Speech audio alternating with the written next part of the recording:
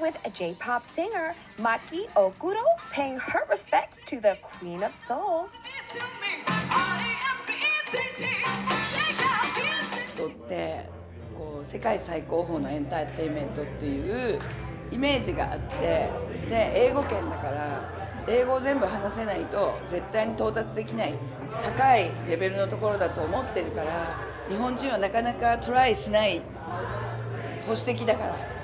だけどでもファッションとかそれとか自分自身の例えば私だったら音楽ですけどそういうものを広めたいとか評価されたいっていう気持ちはみんな持ってると思うんですよね。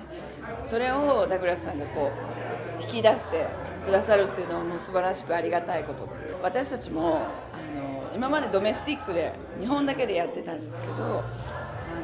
サブスクリプションのおかげで世界に音が広がるで自分の作品が聴かれて歌われるのは素晴らしいことだしそれがハリウッドとなると